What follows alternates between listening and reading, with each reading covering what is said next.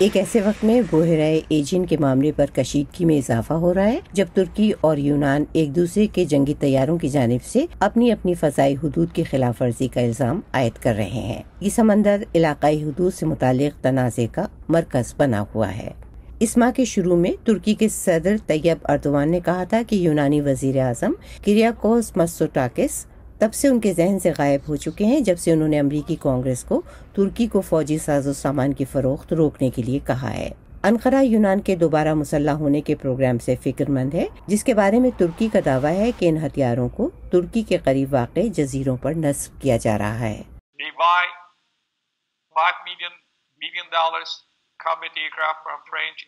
وہ فرانس سے پانچ ارب ڈالر کے جنگی طیارے اور نئے کروزرز اور امریکہ سے لگ بھگ دس ارب ڈالر کے ہیلی کاپٹرز بحریہ کے لیے ساز و سامان اور نئے ایف تھرٹی فائیو خرید رہے ہیں۔ ترکی فکر مند ہے کہ یونان کے جزیروں پر کیا ہو رہا ہے؟ کیا وہ ترکی پر حملہ کرنے کا فیصلہ کر رہے ہیں؟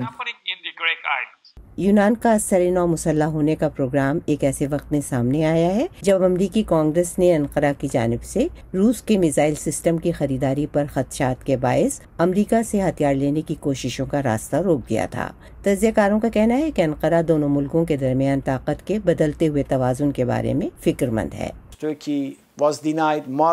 ترکی کو کئی وجوہات کی وجہ سے جدید فوجی ساز و سامان نہیں دیا گیا جبکہ یونان کو اس طرح کے ہتھیاروں تک رسائی حاصل ہے۔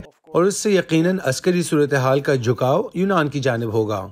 ترک وزیر خارجہ چاو شولو نے منگل کے روز یہ انتباہ کر کے کشیدگی میں اضافہ کر دیا کہ ترکی یونانی جزیروں کے اقتدار اعلیٰ کو چیلنج کرنے کے لیے تیار ہے۔ انہوں نے یونان پر ایک بین الاقوامی معاہدے کی خلاف ورزی کا الزام لگایا، جس میں اس علاقے کو غیر فوجی رکھنے کا وعدہ کیا گیا ہے۔ لیکن یونان کا کہنا ہے کہ وہ یہ اقدامات اپنے دفاع کے لیے کر رہا ہے۔ ایتھنز اپنی تشویش کا اظہار کر رہا ہے کہ انقرہ پناہ گزینوں کے یونان میں داخلے کے لیے اپنی سرحدیں کھول سکتا ہے اور بحیرہ ایجن میں اس کے جزیروں پر فوجی دباؤ بڑھا سکتا ہے۔ ہمیں خاصا تجسس ہے کہ پناہ گزینوں یا تارکین وطن کے معاملے پر کیا ہوگا اور یہ بھی کہ ترکی کا جزیرے کے اقتدار اعلیٰ عسکری تیاریوں اور سرگرمیاں وغیرہ کے بعد اگلا اقدام کیا ہوگا۔ اس وقت یونان نے متعدد حفاظتی اور دیگر اقدامات کے ساتھ آگے بڑھنے کا فیصلہ کیا ہے اور مجھے لگتا ہے کہ آئندہ واقعی کافی مشکل وقت آنے والا ہے۔ تجزیہ کاروں کا کہنا ہے کہ یونان اور ترکی دونوں ملکوں کے رہنما خود کو طاقتور رہنماؤں کے طور پر پیش کر رہے ہیں، جو ان کے قوم پرست ووٹروں کی توجہ حاصل کرنے کی ایک کوشش ہے۔ لیکن یونان کے واشنگٹن اور یورپی یونین کے ساتھ تعلقات گہرے ہو رہے ہیں، جبکہ انقرہ کو تنہائی کا سامنا ہے، جو ترکی کے لیے ایک نازک صورتحال کی وجہ ہے۔ یہ گزشتہ دہائی میں ترکی کی اسٹریٹجک غلطیوں کے نتائج ہیں۔ اپنی حد سے زیادہ خود اعتمادی کے سبب کہ وہ اکیلے اپنے آس پاس کے علاقے کو اپنی مرضی کے مطابق ڈھال سکتا ہے، ترکی نے سب کو ناراض کر رکھا ہے۔ ترکی نے توانائی کے ذرائع کی تحقیق کے لیے اپنے بحری جہازوں کو یونان اور قبرص کے درمیان متنازع پانیوں کے قریب تعینات کیا ہے، جس نے ایک اور کشیدگی کو جنم دیا ہے، جو ترکی کو مزید الگ تھلگ کرنے کا سبب بن سکتی ہے۔ ڈورین جونز کی رپورٹ کے ساتھ Shahnaz Aziz Voice of America ان تنازعوں، روس، یوکرین جنگ اور نیٹو کے رکن کی حیثیت سے ترکی کی باقی دنیا کے لیے کیا اہمیت ہے؟ اس بارے میں مزید بات کرتے ہیں مصنف اور تجزیہ کار فروخ سہیل گوئندی سے، جو اسکائپ کے ذریعے ہمیں استنبول سے جوائن کر رہے ہیں۔ فروخ سہیل، پہلے تو یہ بتائیے کہ ایک ایسے وقت میں جب پہلے ہی یوکرین میں جنگ کے باعث یورپ بھر میں بے چینی ہے، ترکی اور یونان کے تنازع سے صورتحال کس حد تک بگڑ سکتی ہے؟ یہ ریجن میں بہت امبیلنس ہو رہا ہے، چونکہ ترکی خود ایک نیٹو ملک ہے اور آرمی کی اسٹرینتھ کے حوالے سے سیکنڈ لارجسٹ کنٹری ہے۔ لیکن دو ہزار سولہ کے بعد ترکی امریکی بلاک سے نکل کر کچھ روس کی طرف اس کا جھکاؤ ہوا ہوا ہے۔ خصوصاً جب S four hundred missile system انہوں نے لیا اور سیریا کے اندر روس ترکی معاہدہ ہوا اور وہاں کا انتظام ترکی نے روس کو دیا، تو ترکی انفیکٹ امریکہ کا اس طرح اتحادی نہیں ہے جو دو ہزار سولہ سے پہلے تھا، جب یہاں پر ایک ناکام فوجی بغاوت ہوئی۔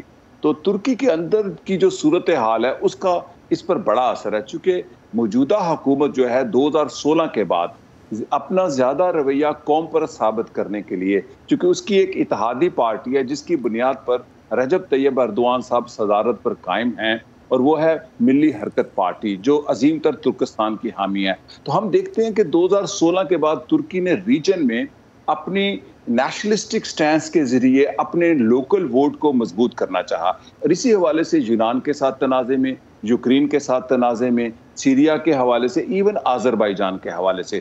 تو جو ریجن میں اب جو یونان ملٹرائزیشن کرنے جا رہا ہے وہ اس کا رزلٹ ہے جو ترکی نے دو ہزار سولہ کے بعد نیٹو سے زیادہ اپنا انحصار روس کی طرف بھی کچھ جھکاؤ کیا۔ زیادہ نہیں لیکن جی۔ کچھ۔ ایک طرف تو میں چاہوں گا کہ ہم ذرا بات کریں چونکہ آپ نے نیٹو کا بھی ذکر کیا تو ترکی کے فن لینڈ اور سویڈن کے نیٹو میں شمولیت کے خلاف تحفظات ہیں تو دوسری طرف وہ روس کے جنگی بحری جہازوں کو یوکرین پر بمباری کے لیے سمندری حدود سے گزرنے کا راستہ نہیں دے رہا۔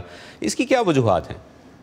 یہ جو ترکی ہے نا، بڑا نیشنلسٹک سٹینس لے رہا ہے۔ ایک طرف تو وہ سویڈن اور فن لینڈ کی رکنیت کے خلاف ہے، چونکہ وہ نیٹو میں بھی رہنا چاہتا ہے۔ دوسری طرف وہ گندم کی رسائی کے لیے باسفورس کو رستہ بھی دینا چاہتا ہے، لیکن جنگ کے استعمال کے لیے باسفورس کا رستہ نہیں دینا چاہتا۔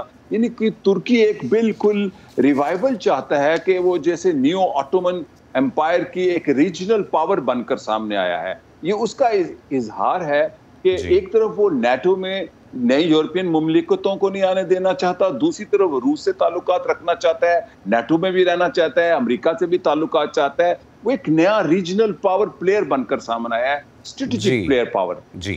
تھینک یو سو مچ آپ نے استنبول سے ہمارے لیے وقت نکالا اور اس موضوع پر ہم سے بات کی۔ شکریہ جی۔